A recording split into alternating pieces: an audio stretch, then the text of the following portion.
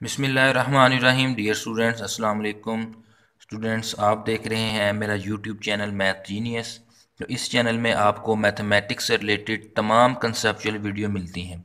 तो अब इस वीडियो में भी मैं आपकी खिदमत में हाज़िर हूँ एक नए और मुफीद कंसेप्ट के साथ। इस वीडियो में आप सीखेंगे कि जो हम टिग्नोमेट्रिक रेशियोज इस्तेमाल करते हैं, वो डिफरेंट क्वाड्रेंट्स में प्लस माइनस क्यों होती हैं। ठीक है? इन इस वीडियो में आपको आसानी ये बात समझ में आ जाएगी।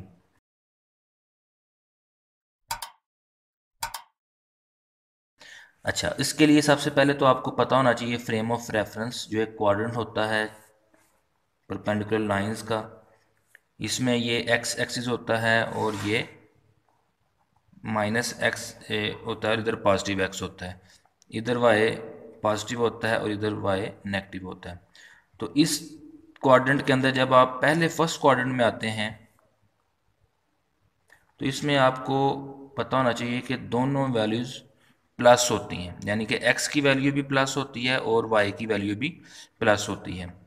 अब मैं क्या करता हूँ, मैं फ़र्स्ट क्वाड्रेंट के अंदर एक रे ले लेता हूँ, जो कि एक्स एक्सिस के साथ थीटा बना रही है एंगल अब मैं इस रे के ऊपर एक पॉइंट लेता हूँ और सीधा जो है वो परपेंडिकुलर ड्रा कर देता हूँ एक्स एक्सिस के ऊपर। तो डियर स्टूडेंट्स आप देख सकते हैं कि ये एक राइट एंगल ट्राइंगल बन गई है। अब राइट एंगल ट्राइंगल में आपको पता है कि जो थीटा के साथ ए, होती है लाइन सेगमेंट उसको हम बेस बोलते हैं और जो थीटा के दूसरी तरफ़ अपोजिट होती है उसको परपेंडिकुलर बोलते हैं और जो 90 का एंगल बन रहा होता है। उसके सामने जो अपोजिट साइड पे होती है, उसको हम हाइपाटन्यूज बोलते हैं, जिसको हम एच से डिनोट करेंगे। तो ये आप शॉर्ट फॉर्म याद रख, जहाँ मैं बी यूज़ करूँगा, वो बेस है, जहाँ पी यूज़ करूँगा परपेंडिकुलर है, और जहाँ पर एच यूज़ करूँगा, वो हाइपाटन्यूज है। ठीक हो गया।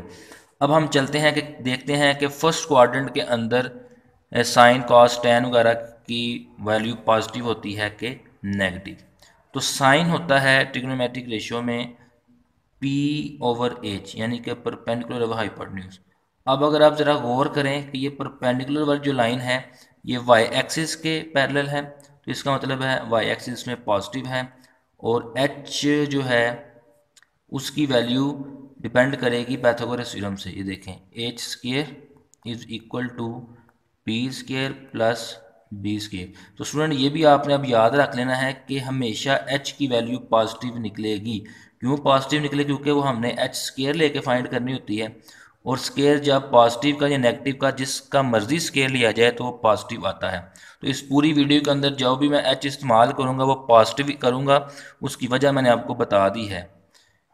अगर ये दोनों वैल्यूज़ नेगेटिव भी होती हैं या एक नेगेटिव होती है, फिर भी एच जो है वो पॉजिटिव ही निकलेगा। ये भी आपने बात जेन में रखनी है।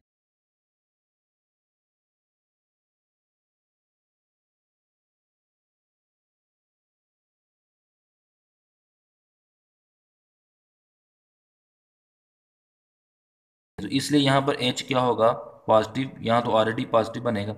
तो साइन का आंसर आएगा पॉजिटिव तो चूँकि इधर सारी वैल्यूज़ पॉजिटिव हैं तो all trigonometric ratio first quadrant के अंदर हम पॉजिटिव लेते हैं। ये तो सिंपल था, इसमें कोई ऐसा इशू नहीं कि पहले क्वाड्रेंट के अंदर सारी वैल्यूज़ पॉजिटिव होती हैं।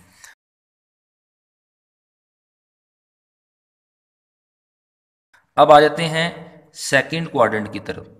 अब सेकंड क्वाड्रेंट में आपको पता है कि ये नेगेटिव होती है, ये वाला जो एक्स एक्सिस है। ये रे जो है, ये एक्स नेगेटिव के साथ थीटा एंगल बना रही है और यहाँ ये जो वाई है, ये पॉजिटिव होता है। तो इसका मतलब है यहाँ पर एक्स नेगेटिव होगा और वाई पॉजिटिव होगा। अब हम इसको यूज़ करके देखते हैं कि टिग्नोमेट्रिक रेशियोज में क्या वैल्यूज़ निकलती है। जी, मैं इस रे के ऊपर एक पॉइंट ले लेता हूँ। इस पॉइंट को सीधा परपेंडिकुलर ड्रा कर देता हूँ तो ये एक राइट एंगल ट्रायंगल बन गई है। थीटा के साथ वाली को बेस, ये वाली परपेंडिकुलर और 90 के बिल्कुल सामने वाली हाइपोटेन्यूज एच अब इसमें देखते हैं sine theta is equal to होता है पी ओवर एच तो इसमें परपेंडिकुलर किसके है? वाई के साथ है। ये देखें तो वाई इसमें क्या है? पॉजिटिव और एच जो है वो तो ऑलरेडी पॉजिटिव होता है। तो पॉजिटिव को पॉजिटिव वाले से डिवाइड करें तो वो आंसर पॉजिटिव आएगा। तो यहाँ तो साइन हो गया पॉजिटिव अब चलते हैं कॉज की तरफ़। काज होता है बी ओवर एच तो स्टूडेंट यहाँ बी क्या है? ये देखें बी एक्स एक्सिस के साथ है और ये नेगेटिव वाले में है। इसका मतलब बेस हो गया नेगेटिव और एच तो हमेशा पॉजिटिव रहना है। तो नेगेटिव डिवाइडेड बाई पॉजिटिव तो नेगेटिव आ। तो इसका मतलब काज जो है वो सेकंड क्वाड्रेंट के अंदर नेगेटिव है। और टेन देखें जी। टेन होता है P over B perpendicular over base तो इसमें क्या होगा? पी देखें वाई के अलोंग है वाई पॉजिटिव है, और बेस जो है वो एक्स के अलोंग है तो वो नेगेटिव है। तो पॉजिटिव डिवाइडेड बाय नेगेटिव तो नेगेटिव तो स्टूडेंट यहाँ से आपको क्लियर हो गया कि सेकंड क्वाड्रेंट के अंदर साइन क्यों पॉजिटिव होता है और कॉज और टेन क्यों नेगेटिव होते हैं। बाकी जो इनके रेसिप्रोकल रेशियोज हैं, यानी कि साइन की रेसिप्रोकल है कोसिकन तो अगर ये पॉजिटिव है तो ये भी पॉजिटिव होगी। कॉज की रेसिप्रोकल होती है सीकन तो अगर ये कॉज नेगेटिव है तो वो भी नेगेटिव होगी और टेन की रेसिप्रोकल होती है कॉट तो अगर टेन नेगेटिव है तो कॉट भी नेगेटिव होगा। तो स्टूडेंट मैं एक और क्वाड्रेंट के ज़रिए आपको समझा देता हूँ बात और फोर्थ में आप खुद चेक करके मुझे बताइएगा। अब आ जाते हैं थर्ड क्वाड्रेंट की तरफ़। ये देखें, ये X positive X negative Y positive और वाई नेगेटिव अब ये हम आ चुके हैं थर्ड क्वाड्रेंट के अंदर। ठीक है जी? अब देखिए थर्ड क्वाड्रेंट के अंदर आप इसको एक्स एक्सिस के साथ ले लेते हैं। ये रे जो है, इस रे के ऊपर मैं पॉइंट लेता हूँ। पॉइंट से सीधा परपेंडिकुलर यहाँ ड्रा करूँगा। ये 90 का एंगल बनाएगा, ये थीटा हो जाएगा। अब ये थीटा के साथ वाली ये बेस है और ये परपेंडिकुलर और 90 के बिल्कुल सामने वाला जो है वो एज है। अब इसमें ये भी देख लें एक्स बी नेगेटिव है और वाई बी नेगेटिव है। दोनों वैल्यूज़ नेगेटिव हैं। अब हम दोनों वैल्यूज़ को यूज़ करके देखते हैं, क्या निकालते हैं। Sine theta is equal to होता है पी ओवर एच अब पी यहाँ पर वाई के अलोंग है, वो भी नेगेटिव है।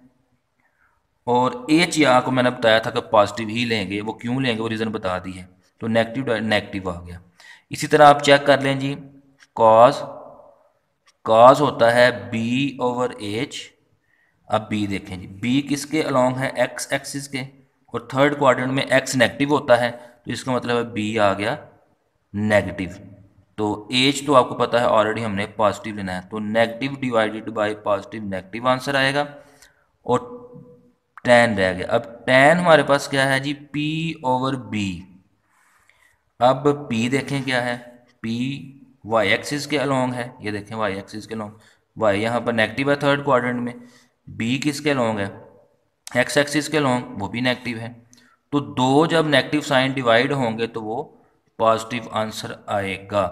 तो डियर स्टूडेंट्स आप देख सकते हैं कि थर्ड क्वाड्रेंट के अंदर साइन और कॉज नेगेटिव है और टेन पॉजिटिव है। तो इसका मतलब है साइन का रेसिप्रोकल को सीकन भी नेगेटिव होगा और कॉज का रेसिप्रोकल सीकन भी नेगेटिव होगा और टेन का जो रेसिप्रोकल को टेंजेंट है वो पॉजिटिव होगा। तो फोर्थ क्वाड्रेंट में आप खुद चेक करके तो बनाइएगा, ये आपकी असाइनमेंट है।